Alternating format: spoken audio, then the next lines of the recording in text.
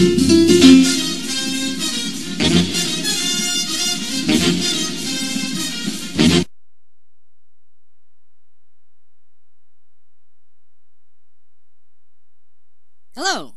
Welcome to Demagogic Logic, the show that teaches you how to recognize rhetorical fallacies. I'm your host, Jerry the Logic Ferret.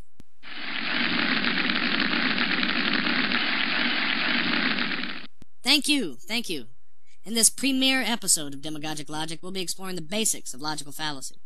And to help us do that, we have a very special guest, musician, writer, and marketing maestro, Curious Jean Low.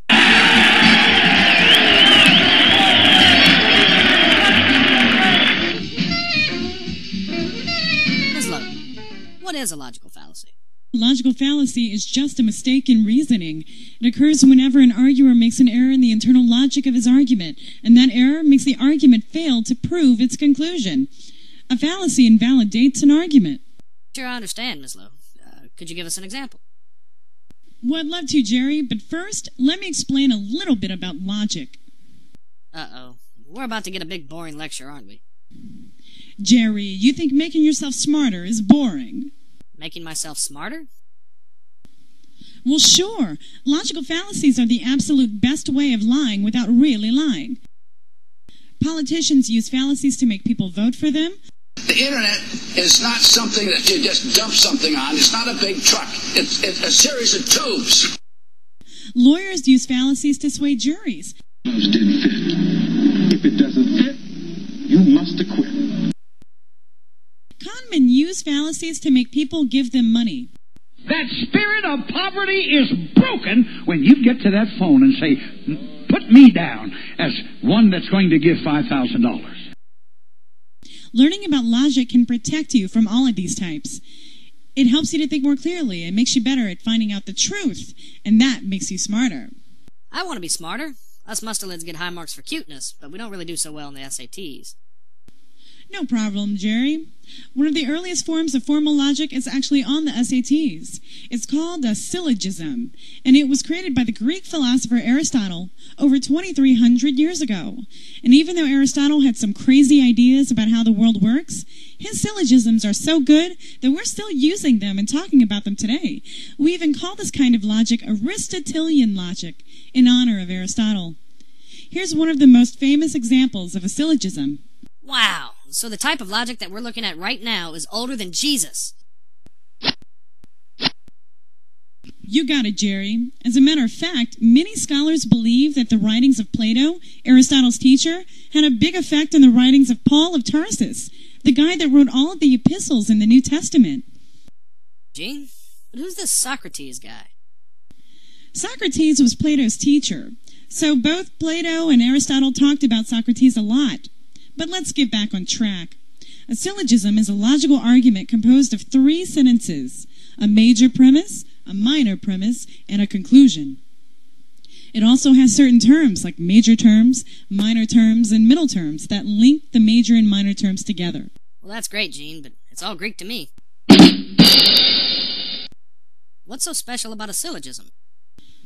What makes a syllogism so great, Jerry, is the fact that if it is constructed properly and the two premises are true, then the conclusion must be true.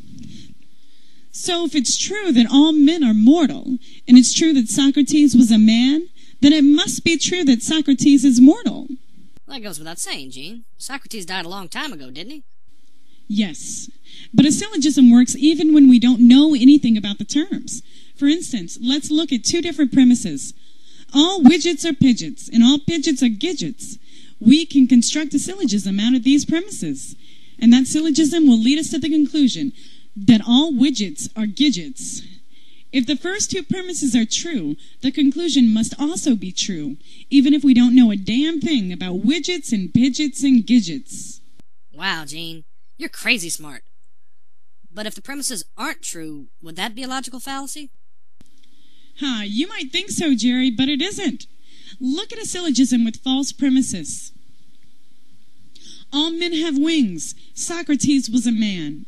That leads us to the conclusion that Socrates had wings.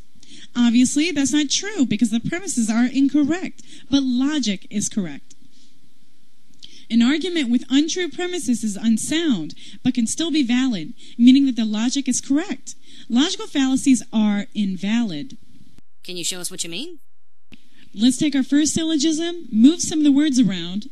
All men are mortal. Socrates is mortal, therefore Socrates is a man.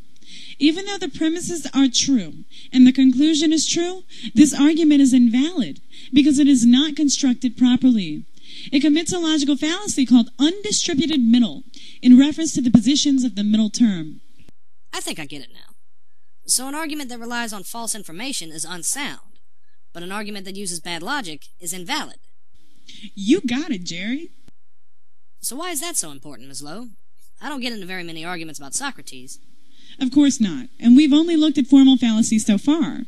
Formal fallacies are the result of improper logic in formal argument. Most of the time, we hear informal arguments which contain informal fallacies. Logicians sometimes call these rhetorical fallacies, and they've cataloged hundreds of the more common types. Learning to recognize rhetorical fallacies will help you to recognize bad arguments, which makes it a lot harder for people to trick you. So you're saying that learning about logical fallacies will make me a walking lie detector? Not so, Jerry. Remember, fallacies are errors in logic, not errors in fact. Assuming that an argument is untrue because it's invalid is a logical fallacy itself. That's called the fallacis fallacy, or argumentum ad logicam. So if I can't use logic to tell if someone's lying or not, how does that help me? Well, Jerry, there are lots and lots of people out there that want you to believe certain things or think a certain way. A lot of these folks don't even really care about the truth. They just want more people on their side. Politicians, salesmen, all sorts of con artists, even the people on the news. They all want you to agree with them and play on their team. Fortunately for you, it's hard for them to really lie outright. It's just too easy to get caught. Unfortunately, there are a lot of other ways of lying without really lying. You mean logical fallacies? Exactly. When you study logical fallacies, you start seeing them everywhere on TV, in the news, in commercials, even in casual conversations. You probably hear a dozen fallacies a day without even realizing it. That's pretty scary, Jean. We're surrounded by fallacies. It's not scary if you know how to recognize them. Being able to recognize rhetorical fallacies will help you to see which arguments are worth considering and which are just plain BS. Phew. Well, that makes me feel better. Thanks for teaching me so much about logic, Miss Low. You are very welcome, Jerry. Well, that's about all the time we have for today. In our next episode, we'll learn about the true Scotsman fallacy. What's that about, Jean? Well, I think you'll just have to watch the next episode to find out. I can't wait. Goodbye, everybody. See you next time.